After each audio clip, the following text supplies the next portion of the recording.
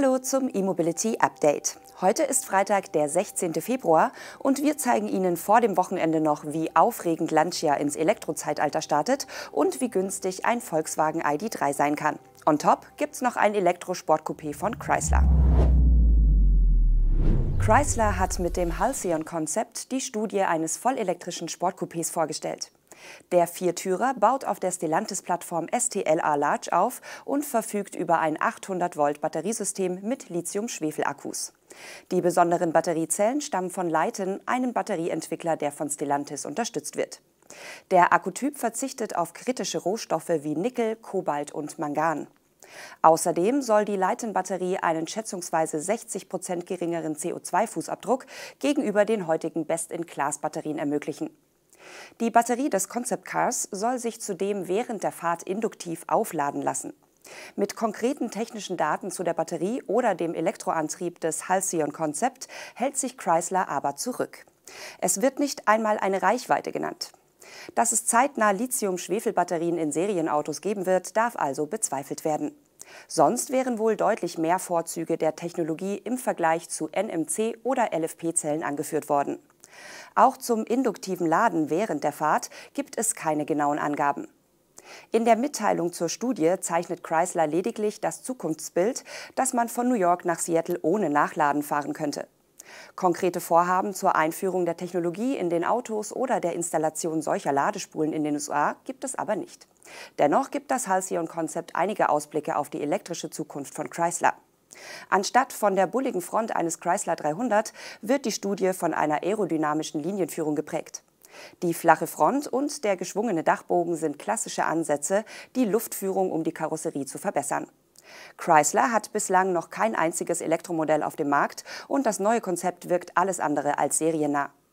Die Marke bekräftigt aber ihren Plan, ihr erstes E-Auto 2025 auf den Markt bringen und ab 2028 nur noch E-Autos anbieten zu wollen.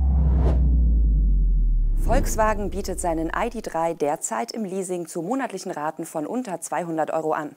Das Angebot im Rahmen einer Sonderaktion gilt aber nur noch wenige Tage und auch nur für Privatkunden. In einer Mail ist von einer Rate von monatlich ab 222 Euro die Rede. Dafür gibt es einen ID.3 Pro, also das Modell mit der 58 Kilowattstunden großen Batterie und dem 150 kW Antrieb. Das Angebot umfasst auch Wartung und Inspektion und geht über 24 Monate bei 10.000 Kilometern pro Jahr. Fällig wird eine einmalige Sonderzahlung von 890 Euro. Wählt man den ID.3 mit dem Aktionspaket Move, gibt VW eine Rate von 259 Euro pro Monat an, eben mit einer etwas besseren Ausstattung. Die Raten, die Volkswagen in der Aktionsmail nennt, sind offenbar kein unrealistisch niedriges Lokangebot, denn es geht noch günstiger. Auf Vergleichsportalen wie Leasingmarkt ist der ID.3 Pro bereits zum Raten ab 151 Euro im Monat zu finden, ebenfalls bei 24 Monaten Laufzeit und 10.000 Kilometern pro Jahr. Ein Punkt ist bei diesen Angeboten aber zu beachten, das Wartungspaket ist Pflichtbestandteil und noch nicht in der Leasingrate enthalten. Es kommen also noch 25 Euro pro Monat hinzu. Die Sonderzahlung von 890 Euro gibt es hier nicht. Allerdings werden Überführungskosten in selber Höhe fällig. Es macht also keinen Unterschied. Leasinggeber ist die Volkswagen Leasing GmbH. Lancia hat den neuen Y vorgestellt, der als erstes Modell der Marke auch mit reinem Elektroantrieb auf den Markt kommen wird. Der Elektro-Kleinwagen baut auf einer Plattform der Stellantis-Gruppe auf und erhält den bekannten E-Antrieb mit 115 kW Leistung in Verbindung mit einer 54 Kilowattstunden großen Batterie. Für die Marke Lancia ist die Weltpremiere des neuen Y, auch wenn das extravagante Design bereits vor der Präsentation bekannt war, eine große Sache. Denn die neue Generation des Kleinwagens bedeutet quasi eine Wiederbelebung der Marke. Lancia hatte zuletzt nur noch die Vorgängergeneration im Angebot. Diese wurde bereits 2011 auf den Markt gebracht und seit 2017 nur noch in Italien vertrieben. Das aber mit Erfolg. Mit rund 45.000 verkauften Fahrzeugen war es 2023 das drittmeistverkaufte Auto Italiens.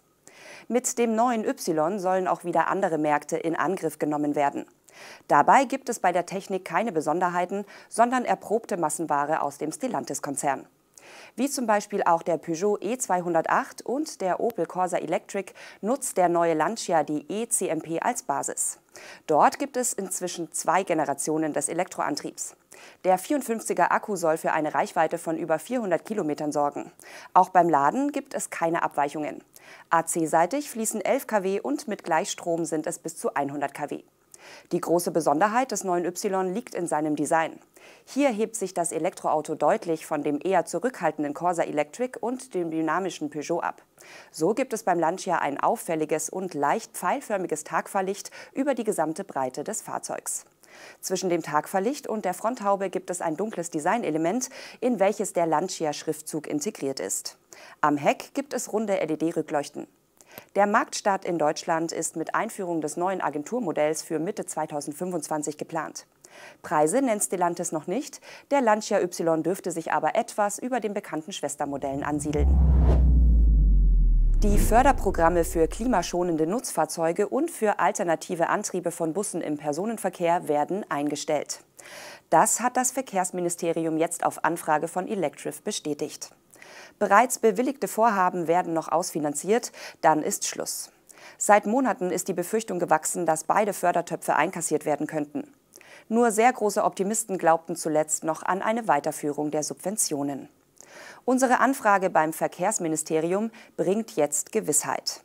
Es wird weder für E-Lkw noch für E-Busse weitere Bundesfördermittel geben. Damit ist das verfrühte Ende beider Subventionen besiegelt.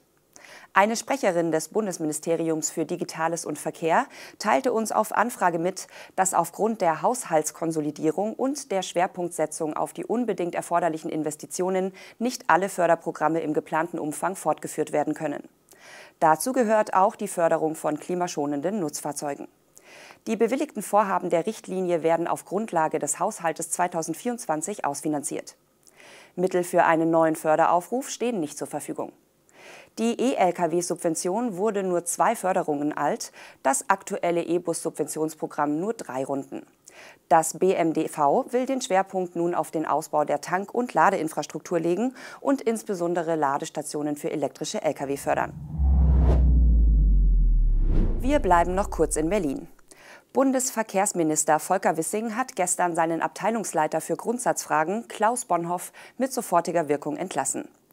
Den nicht ganz überraschenden Schritt hat eine Sprecherin des BMDV gegenüber Electrif bestätigt.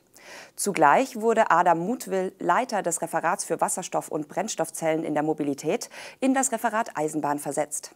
Als Begründung gab die Sprecherin einen Vertrauensverlust beim Minister an. Damit endet eine Lobbyaffäre, die in den vergangenen Wochen größere mediale Kreise gezogen hat, mit einem Paukenschlag. Hintergrund ist eine Vergabe von Fördermitteln in Höhe von rund 1,5 Millionen Euro für das Innovationscluster High Mobility an den Deutschen Wasserstoff- und Brennstoffzellenverband. Mit dem Geld sollte eine Kommunikationsplattform für Wasserstoffmobilität unterstützt werden. Bonhoff, der lange Jahre die nationale Organisation Wasserstoff- und Brennstoffzellentechnologie geleitet hat und noch unter dem Verkehrsminister Andreas Scheuer ins BMDV berufen wurde, gilt in der Branche als Verfechter eben jener Technologie. Als Abteilungsleiter soll sich Klaus Bonhoff Ende 2021 für die Förderung und den möglichst kurzfristigen Förderbescheid stark gemacht haben. Pikant dabei, der Antrag kam von Verbandschef Werner Diewald, einem persönlichen Freund von Klaus Bonhoff. Man kennt sich seit Jahren, beruflich wie privat. Mails zwischen den beiden, die zuletzt im Spiegel öffentlich wurden, zeigen, wie sich der zur Neutralität verpflichtete Abteilungsleiter auf Referatsebene für die Bewilligung eingesetzt hat. Der Verdacht der Vetternwirtschaft führte nun zu seiner Entlassung. Das waren die Nachrichten aus der Welt der Elektromobilität für diese Woche. Die nächsten zeigen wir Ihnen am Montag. Bis dahin wünschen wir Ihnen ein schönes Wochenende. Tschüss.